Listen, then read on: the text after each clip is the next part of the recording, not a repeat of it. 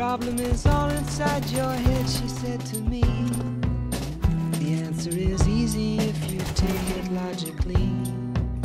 I'd like to help you in your struggle to be free. There must be 50 ways to leave your lover. She said it's really not my habit to intrude. Furthermore, I hope my meaning won't be lost on this construed. But I'll repeat myself. At the risk of being crude, there must be 50 ways to leave your lover. 50 ways to leave your lover.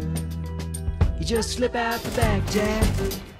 Make a new plan, Stan. You don't need to be coy, Roy. Just get yourself free. Or hop on the bus, Gus. You don't need to discuss much. Just drop off the key,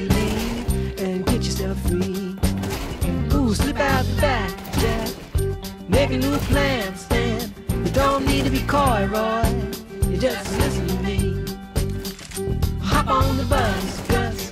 You don't need to discuss much. Just drop off the key, leave, and get yourself free. She said it grieves me so to see you in such pain. I wish there was something I could do to make you smile again. I said I appreciate that. And would you please explain about the 50 ways? She said, why don't we both just sleep on it tonight? And I believe in the morning you begin to see the light. And then she kissed me, and I realized she probably was right.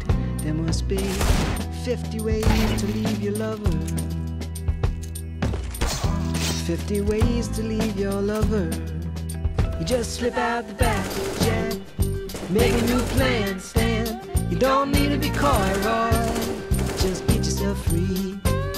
Or you hop on the bus, Gus. You don't need to discuss much. Just drop off the key, leave, and get yourself free. Slip out the back, Jack. Make a new plan, Stan.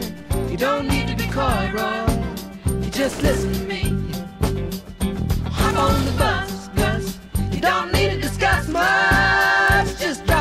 Leave, and get yourself free.